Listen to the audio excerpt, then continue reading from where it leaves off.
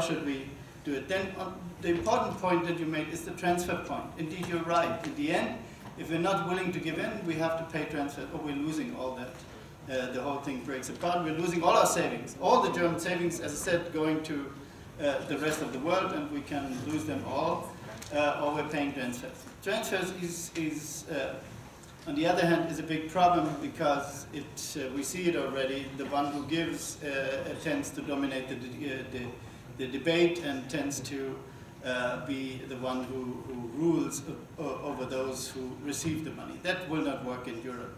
It is working not very well in Germany, uh, but it works to a certain extent, but it never uh, worked out in a way that we have really equal feelings on both sides uh, of the former German border. And so far, it's not so simple. And the, the same is true for fiscal and political union. You can ask for that, but nevertheless, uh, I think my point was right. The first thing that you have to do, you have to agree on this uh, core of the economic policy concept, namely that real wages should rise like productivity. If you don't get that, forget about the rest. So, um, in, in so far, uh, I think we, we, are, we have uh, uh, to do, we have really a big task before us and we cannot, we cannot just uh, hope that we um, that we that we get easily through anywhere and that we find majorities. It's someone said it. It's uh, a question of further work on enlightenment. Thank you very much. Jamie, uh, um, I very much appreciate your points, um, but there there was one point that I'll take exception. We said several times that there was not yet fire in the house. There is a fire in the house. One of the houses is burning right now. And that fire, if it is not contained and extinguished soon, it will spread to the rest of the house. There are flammable structures all around. Greece fails, the markets will turn on Portugal next morning. And then it will be Ireland and Spain and ultimately Italy. And there will be nothing that can be done at that point to stop it. So the problem is right here, it is urgent. Um, the, that bears on some of this question of the investment program, which I strongly, in broad outlines, favor, and particularly the components which are uh, designed to give you a sustainable environmental footprint structure going forward. It's very important. But those elements take time. They would, even if you started now, you would have time to uh, engineer, time to uh, plan, time to get the work up to scale. And you have the problem that certain partners are not capable of cooperating. The government of Greece, for example, just isn't make an argument about numerous other states very clearly. The same is true with the fiscal and political union. That's a project for sometime in the future when you have the ability, the leisure to debate big projects. Things have to be done now, uh, in very short order, because as I say, the fire is already going. Uh, I, you know, I, I, understand the logic, and I agree with the logic of Heiner's uh, point, but I think also there's a time element there, you know, the adjustment of wages, which puts me right back in the camp that I came in with, which is that the alternative is uh, what you call transfers and what I call insurance, what I call the collective approach to manage the incomes of the community as a whole with an understanding that a large part of that community is not the working, is not the wage earning community. It's a part of the population which is either not yet in the labor force or was in the labor force and has left it or perhaps was never in the labor force. Yet one has to consider the income flows that can be stabilizing or destabilizing and now they're terrifically destabilizing, but they could become otherwise.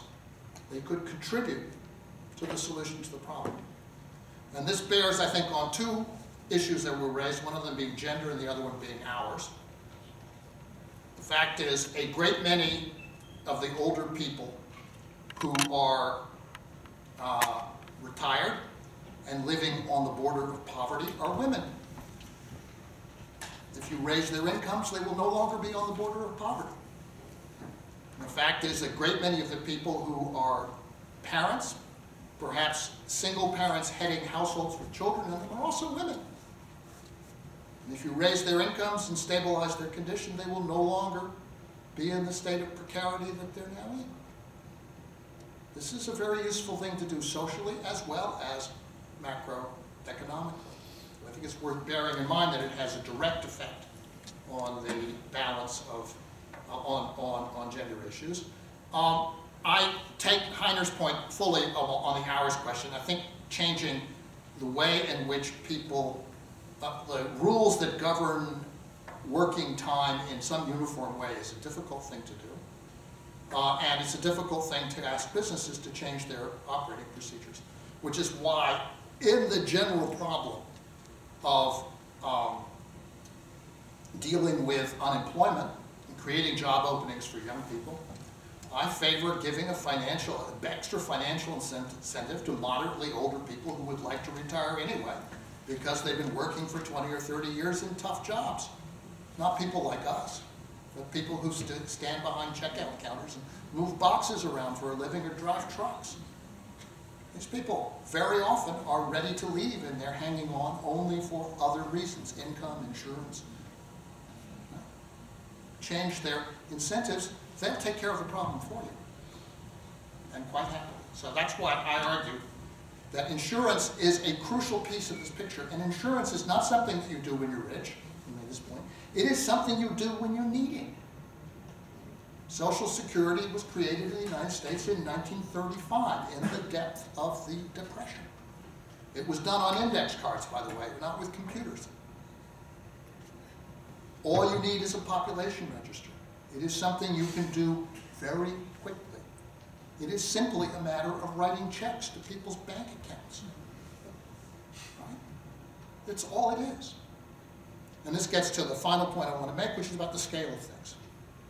Right? We were talking about uh, 260 billion a year euro. I, I, don't have the European GDP as a whole in my mind, but assuming it's roughly like the US, this is what, 2 3%? 2%. You need 10. All right? To put this problem in perspective, you need three times as much, which is more than you can do with an investment program. But an insurance program, you can wrap up as much as you like. As I say again, it's simply a matter of writing checks. And you can ramp it up very quickly, and you can stabilize the situation. So it takes a little imagination. It takes thinking about what the right things to do, unemployment insurance, uh, pension equaliza uh, equalization, and so forth, the other things I talked about. But this needs to be, I think, on the agenda. Otherwise, the economic situation of the houses that are on fire will not be stabilized. Again, it seems to me the investment thing is extremely important, but it's one piece of a larger picture. The unpayable debts have to be regulated one way or another. Since they can't be paid, they won't be paid.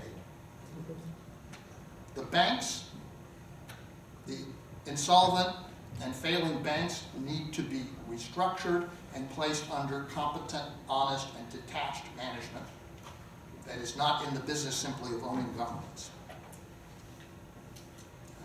is actually the business of banking. The banking structure needs to be changed, the investment program and the social program on the scale that's required to stabilize the situation. Now, to close on this question of growth, I also am a growth pessimist, actually. I don't think it's reasonable to expect or to promise that you can return to the track of the post-war period. We confront problems that are going to get in the way of doing that. At the same time, negative growth is not compatible in any sustained period with a functioning private sector economy, which we have and need. Decentralized businesses work for money. If they're making losses, they will collapse, which is what you're observing. So the objective needs to be to stabilize things at some level which is positive but achievable. I'm not over optimistic, but realistic. And that's where I would, that's where I come down in that, in that debate, and it seems to me thinking through the macroeconomics of it and the problems that we face, it's the, it's the reasonable and realistic position, even though even achieving that requires a dramatic change of policy and ideas. Thanks very much. Thank you very much, uh, Jamie. Thank you all of, on the floor. Now we have two, uh, um, two, two, two short um, comments. Uh, Hannes Swoboda, uh, who joined us now, and afterwards the closing remarks and thank you remarks by Joe Weidenholzer, the host of this meeting. Yeah, very briefly, thank you very much. I think uh, the problem with my political life is that it's the fourth conference today where I should say closing words, which means I cannot participate at the conference and listen. The things I listened just now, and I think what Heiner Flassbeck said, yes, it is true. You have to have still a lot of work also amidst the socialist and social democratic family. Um, and um, it's, um, it's a hard work, but this is also one of the reasons published this uh, small book, uh, Basta Austerity, or Basta Austerity, because I think we really have to change policies. It needs some time, but it is absolutely important to go that way and to convince also our fellow citizens. It is important to come also with ideas because uh, so um, ideas also change the world. You know, we cannot be too Marxist, but uh, ideas also change the world. And this I only want to tell a very brief anecdote. When I was uh, after some years of my studies and two years before communism break down, I was passing many borders in the communist countries, uh, Czech Republic, uh, Czechoslovakia, then Poland, Romania, Hungary, and so on. And my friends were very annoyed because we were stopped at each border longer than necessary because I had a small book with me by a certain John Kenneth Galbraith. And uh, the police, uh, the border guards didn't like that because there was something about freedom in it. And they took it uh, always away. We had to have this long stop. And that is always symbolic, uh, not that because of the book uh, the communism fell down, but in the importance of ideas and importance of of theory because it's very, very important to have your comments uh, because uh, to change the attitude again and again we have to bring forward arguments. Uh, it is not easy because sometimes you know people have their ideology because today ideology is more on the right than on the left. Not that I'm fighting for new ideology on the left, but I'm fighting against the ideology on the right. Because many of the issues you mentioned, and you mention always in, in different articles, even if I have a bit uh, doubt if Syriza, for example, because I've read your article about Greece, would really be the alternative. There are clever people there as well, I agree. But um, it is very, very important to get through this ideology which is on the right, this neoliberal ideology, and to get to the facts.